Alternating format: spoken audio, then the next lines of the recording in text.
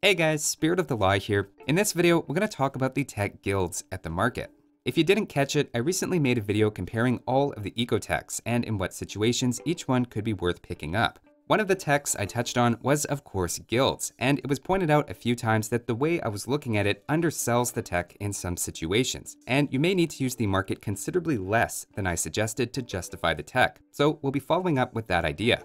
My original approach was to say that with bottomed out market prices, Guilds increases the amount of gold you get by selling 100 food or wood by 3, while the tech itself costs 200 gold plus some food off the top that is spent instead of sold, which all makes the tech sound pretty bad, and that you need to sell up to 8,000 resources to break even. But what if you have a bit of extra foresight and get guilds before the prices have tanked? It turns out that does change things significantly.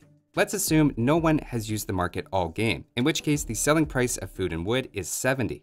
That number comes from the fact that the fair price for 100 food and wood starts at 100 gold, and the prices you see are 30% higher and lower.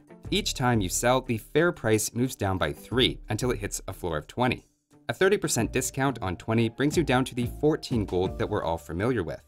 Without guilds, in the process of dropping the price down, you need to sell 2700 food, which generates a little over 1000 gold.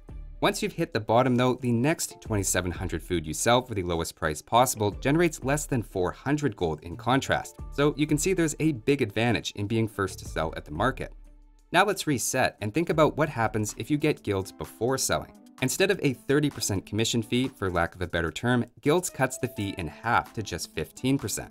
Now, selling 2700 food to drop the price to rock bottom, you end up generating 1400 gold. That's 245 more than you got without the tech, which right away has already covered its gold cost. In fact, starting with 3000 food and 200 gold, with untouched market prices, you end up with an identical amount of gold, whether you go with guilds or not, meaning any more food than that and you're better off picking up guilds first. Of course, wood and food prices are independent, so you can theoretically get some additional value out of selling wood before other players as well. This is making some assumptions that you're floating a ton of extra resources, and we'll say this is the optimistic side of the story. In fact, we could go one step further and suppose the market price for food is inflated from players buying enough to push the quote fair price up to 150. At that point, the payoff for guilds happens if you start with as little as 2400 food and 200 gold, meaning whether you get guilds or not, you end up in a similar spot. Any selling in addition to that is guilds essentially giving you free resources. Keep in mind all this selling drastically reduces the price, so the value moving forward isn't quite as impressive, but at least the concern of the tech not paying for itself is mitigated if you have a high price to start with. I'd argue this makes the decision to pick up guilds a lot more strategic and context dependent.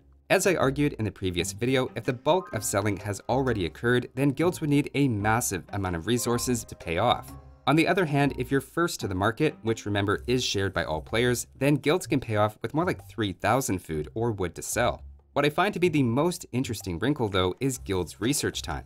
Guilds has a 50 second delay between clicking it and when you get the effect. So it's not a simple matter of clicking guilds and immediately selling your resources at the market. By trying to maximize the payoff and grabbing guilds at high prices, part of you is hoping another player doesn't scoop in and capture those prices beforehand, which adds an element of risk if you're about to do some bulk selling. So to conclude, I agree that yes, by considering only rock bottom market prices, I was given the most pessimistic outlook on guilds. Generally, the higher the market prices, the more helpful the tech becomes, and at the default prices, it's closer to 3,000 resources sold to come out ahead. Another nice part about selling early is you're simultaneously giving your opponent worse prices going forward, so it has a double effect, and Guilds is going to make that payout on your end just that much better. Those are my revised thoughts on Guilds though, and hopefully it gives a more satisfying answer. Thanks for watching, and I'll see you next time.